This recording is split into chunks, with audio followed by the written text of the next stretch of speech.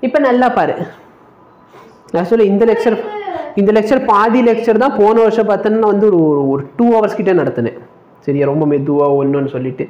இப்போ உனக்கு புரிய ஆரம்பிச்சிருச்சா? நடத்துறது புரியுதா? சரி. இது வந்து கிராவிடேஷன் அப்படியே பார்த்தோம். இப்போ நல்லா பாரு. சப்போஸ் இதான் சார்ஜ்னு வச்சுக்கலாம். எலக்ட்ரிக் ஃபீல்டோட ஜென்ரல் ஃபார்முலா என்ன? Electric ஃபீல்டோட general formula K Q by R square கரெக்டாக இல்லையா? இந்த ஆர் என்னது? டிஸ்டன்ஸு ஆமாவா? இல்லையா? அப்போ ஸ்மாலர் ஸ்கொயர் போட்டுக்கோ. புரியுதா? இப்போ நல்லா பாரு. சப்போஸ் நான் எலக்ட்ரிக் ஃபீல்ட் சென்டரில் வைக்கிறேன்னு வச்சுக்கலாம். எலக்ட்ரிக் ஃபீல்ட் எங்கே பார்க்குறேன் சென்டரில் எலக்ட்ரிக் ஃபீல்டு என்னவா இருக்கும்? ஜீரோ ஆனால் நல்லா பாரு இந்த ஃபார்முலாவை பொறுத்தவரைக்கும் எலக்ட்ரிக் ஃபீல்ட் சென்டர்லேயும் ஜீரோ கிடையாது. ஆமாவா? இல்லையா? இல்லைன்னா இது எல்லாத்தையும் விட்டுதல்ல. நம்ம பேசிக் டெரிவேஷன்லேருந்து வருவோம். இந்த பாசிட்டிவ் சார்ஜ் இந்த பாயிண்ட்ல எலக்ட்ரிக் ஃபீல்ட் எப்படி கிரியேட் பண்ணுவோம்? சம்பத்.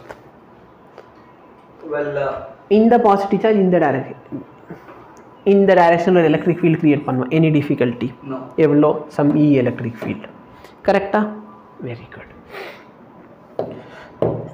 இன் ஓகே இதை நான் ரிசால்வ் பண்ணிக்கிறேன் ஃபர்ஸ்ட் ஆஃப் ஆல் இங்கே இருக்கிற ஆங்கிள் சம் தீட்டானா இதுக்கு மேலே இருக்கிற பாட்டு என்ன? இ காஸ் E தீட்டா அப்போ இங்கே கீழே இருக்கிறது? கம்ப்யூட்டர் படிச்சுட்டு. இங்கே பாரு. இல்லை இல்லை. விடலாம். வாட்ச்மேன் வேலைக்கு. சரி. பிசிக்ஸ் பேப்பர்ல எல்லாத்துக்கும் ஆன்சர் பண்ணிட்டு இருக்கேன். நீங்க வேற. இந்த சம்பத்து இல்லை இப்போ ஒன்றும் இல்லை. இப்போ நீ போட்டு இந்த ஈக்குவேஷன் எல்லாம் போட்டு மேக்ஸிமா மினிமாலாம் கண்டுபிடிப்ப பார்த்தியா ஒரு ஈக்குவேஷன் கொடுத்தாங்கன்னா இதில் இப்படி பண்ணால் மேக்ஸிமா கிடைக்கும் இப்படி பண்ணால் மினிமா கிடைக்கும்னு கண்டுபிடிப்பேன் இதே வந்து ஒன்றும் இல்லை. அங்கே தெரு முனையில் உட்காந்து கடையில் விற்கிற ஆயம்மாட்ட கேட்டுன்னு வச்சுக்கோ அந்த ஆயம்மா கரெக்டாக சொல்லிடும் நான் வந்து பன்னெண்டு ரூபாய்க்கு விற்கிறதுக்கு பதிலா நான் பன்னெண்டு ரூபாய்க்கு விற்றேன்னா எனக்கு லாபம் கிடச்சிடும் அப்படின்ட்டு. கரெக்டாக இப்போ அந்த ஆயம்மா சம்பத்துக்கு தெரியுறது எல்லாமே எனக்கும் தெரியுது. அப்போ நானும் டுவெல்த்து பாஸ் எனக்கும் இன்ஜினியரிங் காலேஜ் கொடுங்கன்னு கேட்டா நியாயமா இப்போ இப்போ இப்போ நீ யோசிச்சுப்பாரு சரியா? உனக்கு தெரிஞ்ச எல்லா விஷயம் ஒருத்தவங்களுக்கு தெரியறதுக்காக உன்னோட குவாலிஃபிகேஷன் அவர் குவாலிஃபிகேஷன் சேம்னு சொல்ல முடியுமா? இப்போ யோசிச்சு பார். இப்போ நான் போயிட்டு ஃபிசிக்ஸ் வாலா கிட்ட உங்களுக்கு தெரிஞ்ச ஃபிசிக்ஸ் எனக்கும் தெரியும். அப்படின்னு சும்மா பேச்சுக்கு சொல்கிறேன்னு வச்சுக்கோ. இது ஏன்னா.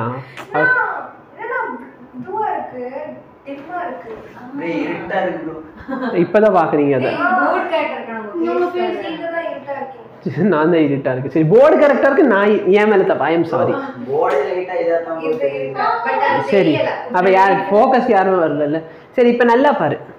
அவருக்கு தெரிஞ்ச ஃபிசிக்ஸ் எனக்கும் தெரியுது அப்படின்னு சொல்லிட்டு உங்கள் கம்பெனி எனக்கு கொடுத்துரு சொன்னோம் நியாயமா? அப்போ அதே மாதிரி தான் உனக்கு பேசிக்கான ஒரு எலிஜிபிலிட்டி என்னது? நீ கம்ப்யூட்டர் ஸ்டூடெண்ட் இல்லை பயோ ஸ்டூடெண்ட்டாக இருக்கணும். கரெக்ட் அப்போ தானே நீட் எழுத முடியும். வேணாம் ஜேஇ வந்து ஒரு பெரிய சம்பவம் சீக்கிரம் சம்பவம் முன்னாடி வா ஃபோக்கஸ் மட்டும் கொஞ்சம் பண்ணி முடிச்சிருவோம். எப்பா பேசாமல் போப்பா. ஆ அது மண்டையா ஏப்பா ரொம்ப வெள்ளையாயிருச்சுப்பா ப்ரோ எப்படி ப்ரோ ஆ வா வா முட்டு சரியா? இப்போ நல்லா பாரு. இந்த பாசிட்டிவ் சார்ஜ்னால எலக்ட்ரிக் ஃபீல்ட் எந்த டைரக்ஷனில் கிரியேட் ஆகும்? எனி டிஃபிகல்ட்டி கரெக்டா இப்போ அகைன் இதோட காம்பனண்ட் கண்டுபிடிப்பேனா? இந்த டைரக்ஷனில் வர காம்பனண்ட் இ காஸ் தீட்டா மேலே போகிற காம்பனண்ட் நல்லா பாரு again E sine theta cancel out ஆகுமா ஆகாதா அப்படின்ட்டு இ காஸ் தீட்டா காம்பனண்ட் மட்டும்தான் இருக்க போகுது கரெக்டா புரியுதா ஓகே இப்போ இந்த இடத்துல இருக்கிற ட்ரையாங்கிள் இந்த டிஸ்டன்ஸ் கேபிட்டல் ஆர் திவ்யா இந்த டிஸ்டன்ஸ் இந்த டிஸ்டன்ஸ் இந்த டிஸ்டன்ஸ் இந்த டிஸ்டன்ஸ் ஏன்னா அந்த கிராஃப்ல பார்த்தா தெளிவாக இங்கே ஆர்ஆர் போட்டிருக்கு. எனக்கு ஸ்க்ரீன்ஷாட் எடுத்துட்டு இதில் கேபிட்டல் என்ன ஸ்மாலார் என்ன? அதான் டயக்ராமில் இது ஸ்மாலார் இது கேபிட்டலார்னு இருக்கு. சரி பரவாயில்ல. அதான் பொடி போட்டு சரி அப்ப நல்ல பேர் எனக்கு என்ன வேணும்? E cos தீட்டாவா E cos theta E cos theta formula என்ன? நல்லா பாரு இந்த சார்ட்ல இங்க இருக்க டிஸ்டன்ஸ் சம் இசட்னு வச்சுக்கோ. அப்ப K Q by Z square cos theta formula என்ன adjacent by hypotenuse. தீட்டா சொல்லு Adjacent R by R by R. Sorry, R by Z. R by Z இது சிம்பிளிஃபை பண்ணா என்ன கிடைக்கும் K Q R by Z square. Cube. இப்போ நல்லா பாரு. Z in terms of ஆர்ல இன் ஸ்மால் ஆர்ல எப்படி எழுதலாம்? நேத்தெல்லாம் ஐயோ. நேற்று பார்த்துன்னு வச்சுக்கோ ஒன்றரை மணி நேரம். நான் என்னென்ன நடத்தினேன் தெரியுமா? மோஷன் மோஷன் அந்த டிஸ்டன்ஸ் டிஸ்பிளேஸ்மெண்ட் அதில் இருக்க ப்ராப்ளம்ஸ் அவ்வளோதான் ஒன்றரை மணி நேரம். நம்பர் லைனில் போட்டு அதுக்கும் மெசேஜ் என்ன தெரியுமா? எனக்கு அந்த நம்ம கொஸ்டின் புரியலன்ட்டான் நாளைக்கு வரப்போ திரும்பி நடத்தணும் அவங்களுக்கு இங்கே ஸ்டார்ட் பண்ணேனா? இங்கே போயிட்டு திரும்பி இங்கே வந்தால் டிஸ்பிளேஸ்மெண்ட் ஜீரோ அது எப்படி ப்ரோ ஜீரோ ஸ்டார்டிங் பாயிண்ட் என்ன? அதுதான். ஸ்டார்டிங் பாயிண்ட் எது? எங்கள் வீடு. ஃபைனல் பாயிண்ட் எது? எங்கள் வீடு. அப்போ என் வீட்டுக்கும் என் வீட்டுக்கு எவ்வளோ டிஸ்டன்ஸ் இருக்கும்? ரெண்டு கிலோமீட்டர் எப்பட்றா? போனீங்க வந்தீங்க இப்போ ரெண்டு kilometre displacement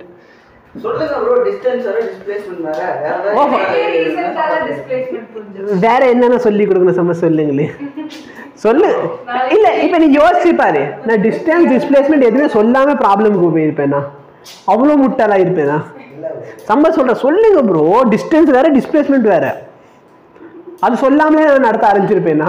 Way of educating a kid is very good.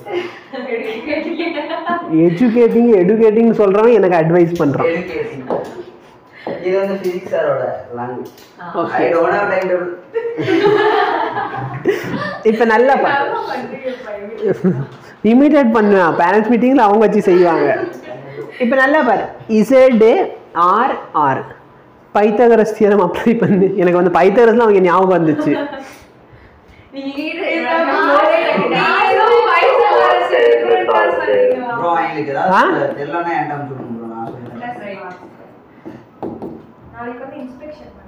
கரெக்டா. அப்போ என்ன கிடைக்கும்? R square plus R square whole power One by two. இந்த கியூப் பண்ணோம் இது த்ரீ பை ஆனா இது கஷ்டமா இருக்கு நீங்க சும்மா இருக்காங்க ஐயோ ஆனா நீங்க இதுதான்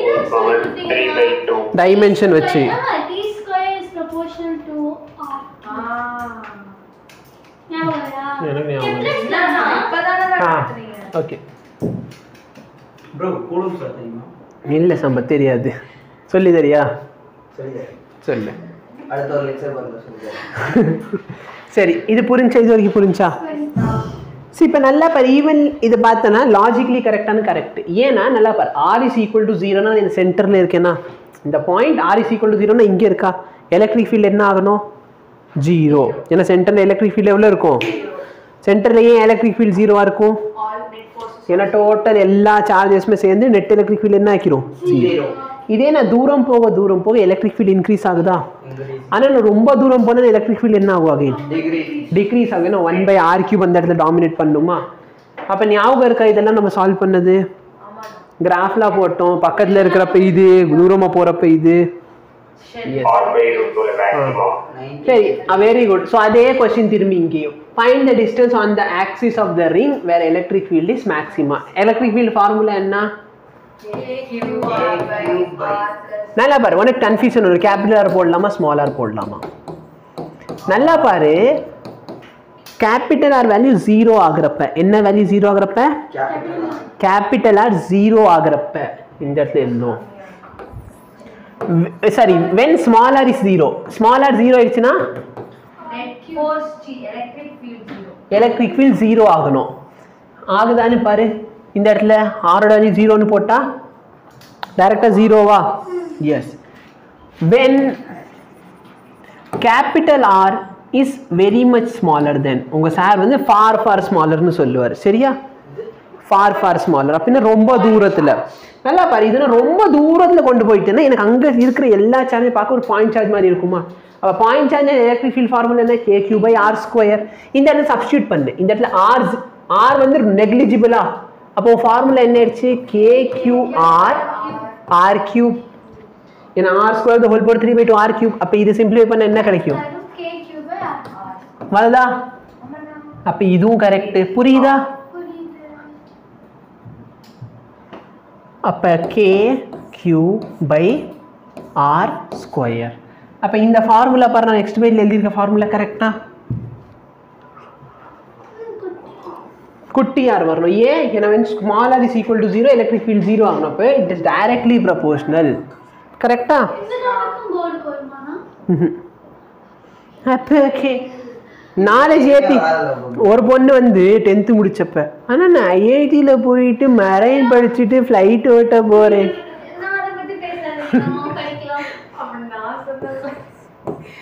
நீ வந்து ஏதோ நீ ஏதோ ஐடின்னு சொன்னியோ?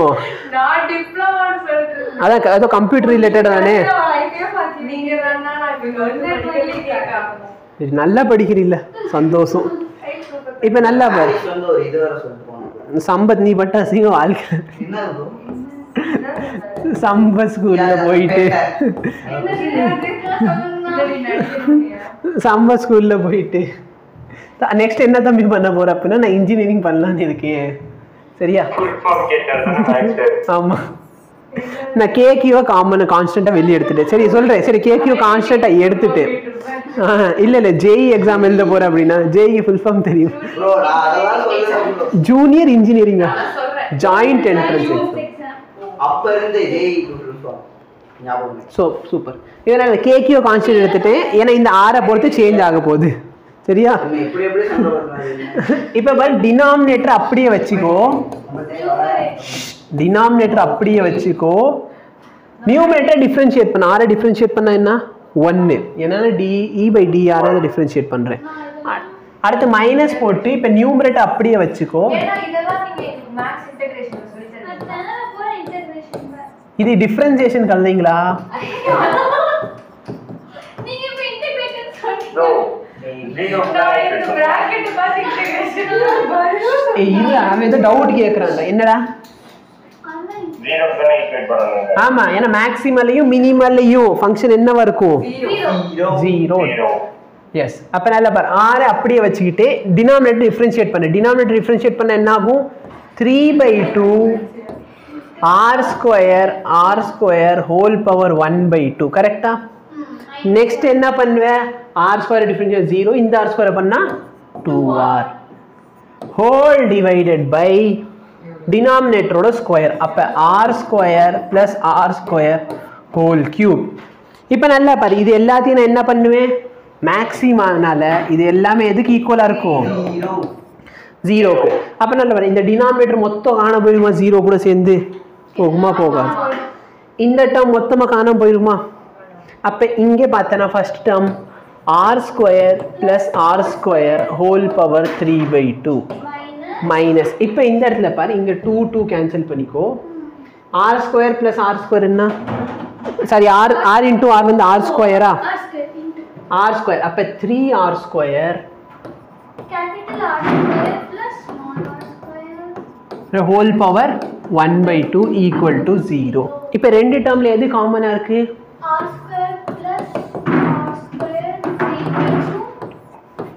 R square plus R square minus அப்போ நல்ல பாரு இந்த டேர்ம் வாங்கிட்டு போயிடுச்சா ஜீரோ டேய் போதும் எவ்வளோ பேசுறீங்க? Loader loader loader loader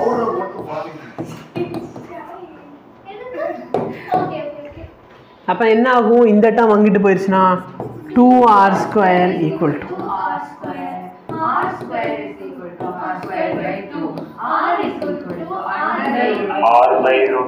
same derivation ஆமாவா இல்லையா?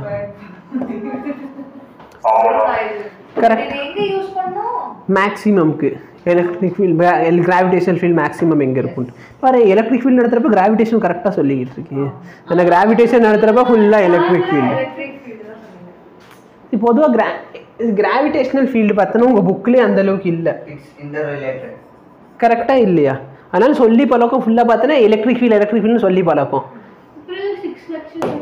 இப்போ பாரு இதான் கொஸ்டின் கொஸ்டின் என்ன சொல்றோம் what is the maximum value of electric field at the axis of uniformly charge maximum value formula என்ன K Q R by R square plus R square whole power three by மேக்ஸிமம்னு சொன்னால் smaller value என்னது? R by root two capital R by root two ம், ரொம்ப late K Q R by root two whole divide by R square plus இதுக்கு பதிலாக R square by டூவா whole power three by two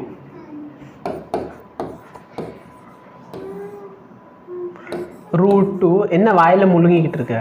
இங்கே பார்த்தோன்னா டூவா அப்போ three R square by two இப்போ whole power three by two நீ open பண்ணணும் ஓகேவா கேக்யூஆர் பை ரூட் டூ நல்லா பாரு த்ரீயோட ஃபஸ்ட்டு ரூட் எடுத்துக்கோ. ஏன்னா ஹோல் பவர் ஒன் பை டூவா அப்போ த்ரீயோட ரூட் எடுத்தா ரூட் த்ரீ இப்போ ரூட் த்ரீயை கியூப் பண்ண root three into root three into root three என்ன யாரோ. யாரோ ஈஸியாக இருக்கும்னாங்க நல்லா பாரு இந்த டேர்ம் இது ஈஸியாக இருக்கும். Whole power three by two three by டூனா என்ன? இந்த ஒன் பை டூ வந்து ரூட் ஆஃப்னு எழுதலாமா? அப்போ இந்த ரூட் த்ரீ ஆயிருமா? ரூட் த்ரீயே கியூப் பண்ண அப்போ root three into root three into root three அப்போ த்ரீ ரூட் த்ரீ ஆர் ஸ்கொயரை ரூட் எடுத்தோன்னா ஆறா அப்போ ஆறுக்கு அப்புறம் அதை கியூப் பண்ண ஆர் கியூப் இப்போ நல்லா பாரு. இந்த டூக்கு ரூட் எடுத்தோன்னா ஒன் பை ரூட் டூவா அது வந்து அப்ரிவேட் பண்ணப்ப டூ ரூட் டூ இப்போ இந்த root two root two cancel இந்த டூவை மேலே கொண்டு வந்துட்டேன்னா